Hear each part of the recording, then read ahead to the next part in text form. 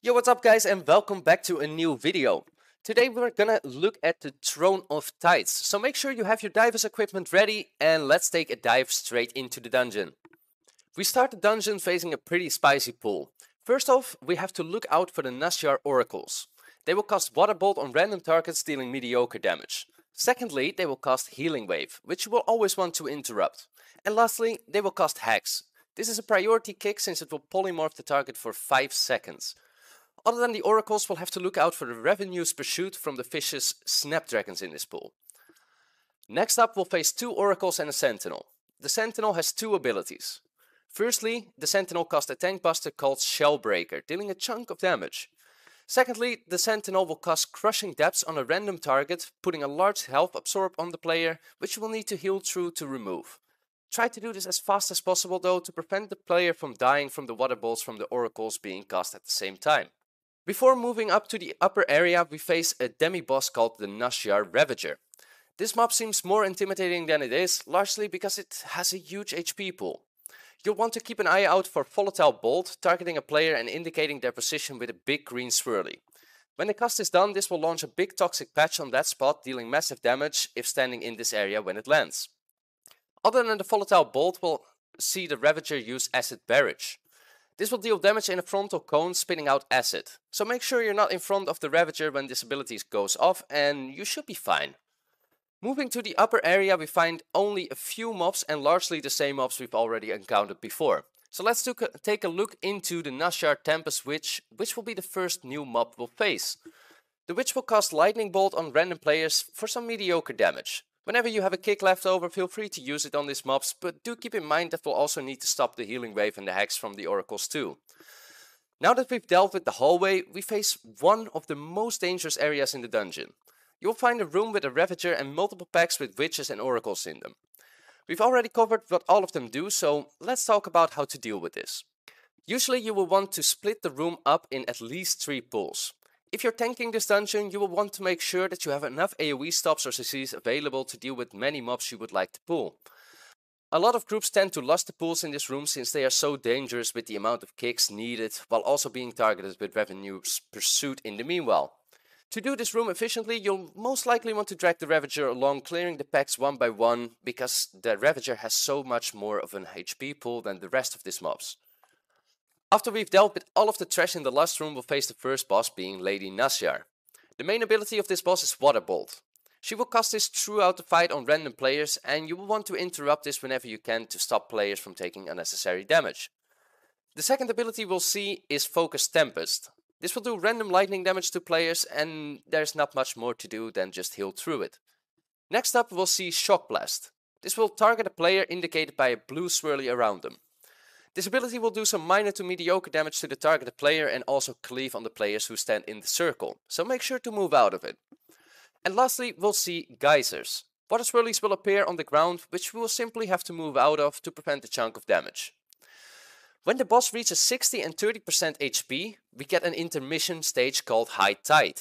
During this time, multiple ads will spawn throughout the room, which will need to kill to be able to attack the boss again. Do be careful though, since multiple water, water swirlies will be thrown around the room till we've dealt with this, so make sure to move out in time. When we've dealt with Lady Naz'jar, we instantly get thrown into the second boss fight being Commander Ulthok. This boss is pretty straightforward, so let's get straight into what he actually does. Firstly, the boss will use Crushing Claw on the tank, being your basic tank buster. Second on the list we'll find Bubbling Fissure. This ability will spawn Void Swirlies underneath the positions of the players. You will want to bait this properly because we need the room for later and it's important for an upcoming mechanic. Next up we see Festering Shock. This ability will knock everyone back, dealing quite significant damage. If you can, however, position the boss properly, you can actually LOS this mechanic, avoiding the knockback and the damage from it. Periodically, the boss will cast Awaken Ooze. This will spawn an ooze in the void puddles we placed earlier. These oozes will start to follow you around, so make sure to kite away from them to not take a load of damage. Next up, we'll finally face some new mobs. First up, we'll face the Faceless Seer. This mob will cast Mind Flay and you will want to interrupt this as much as possible to prevent a lot of channel damage into the targeted player. The second mob we find is the Faceless Watcher. This mob will cast Clenching Tentacles which drags all the players into the center of the mob and it will start casting Shadow Smash. Shadow Smash is indicated by a big purple circle around the seer and you will need to move out of this to not get one shot. Lastly, we will see the minion of Ghur'sha. These mobs, they don't really do much other than doing some pulsing damage. While fighting the Faceless Seers, it is important however to note that Void Beams will go throughout the room which you will want to avoid. For boss number 3 we'll see Erunak Stonespeaker. Once again a pretty straightforward boss with only a few abilities we need to watch out for. Firstly the boss will use Flame Shock throughout the fight, dealing quite a chunk of damage. So healers, make sure to keep an eye out for the party to heal them up quickly. Secondly, we'll deal with the Storm Flurry Totem.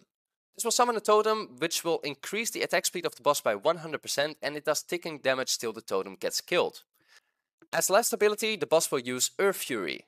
This will make Swirly spawn every half second for a total of 2 seconds. Just avoid these to prevent taking a significant hit. When the boss reaches 25%, we'll instead fight Mindbender Ghur'sha. This boss will only use two abilities and they are very easily dealt with. Firstly, the boss will use Mind Rot. This will damage all the players for some minor to mediocre ticking damage. And secondly, the boss uses Terrifying Vision. This ability will charge up for 6 seconds and will fear everyone that isn't out of line of sight. To combat this, just move behind the pillar and you'll be able to deal with this quite easily. Now that we've dealt with the third boss, we can move on towards boss 4. But before we get there, we'll have to fight our way through a gauntlet type hallway where we will find some mobs with noticeable abilities. First up, we'll fight some Gilgoblin Hunters and Aqua Mages.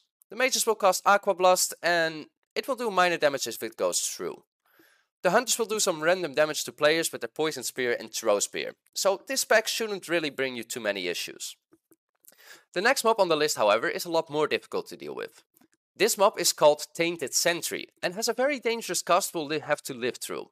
Whenever the sentry casts Swell, the entire group will take a massive amount of damage when this happens. And as of our last hotfix, we will not be able to purge this anymore. So healers be ready to have some big healer CDs ready for when this happens. With the last bit of trash out of the way, we can finally start fighting the last boss on the list, which is Ozumat.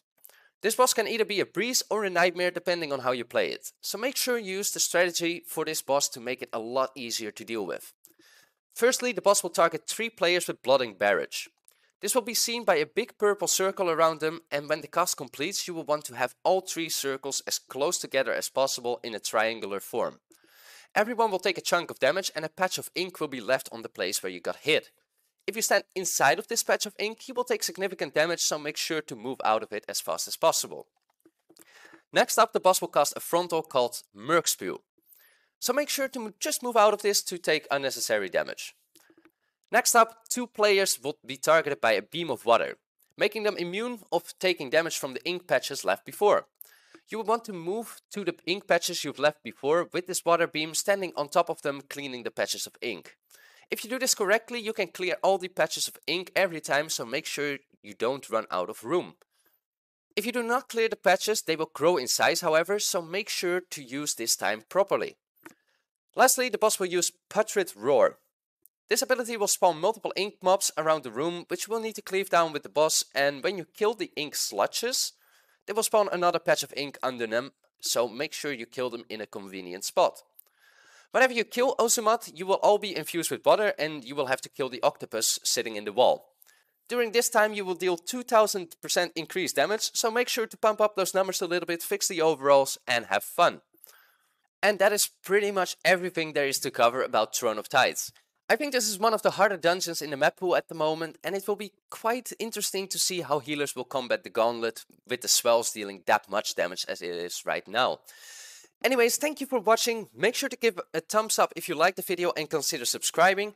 If you have any questions, feel free to leave them in the comments down below or ask them while I'm streaming live on twitch.tv slash jeventestv.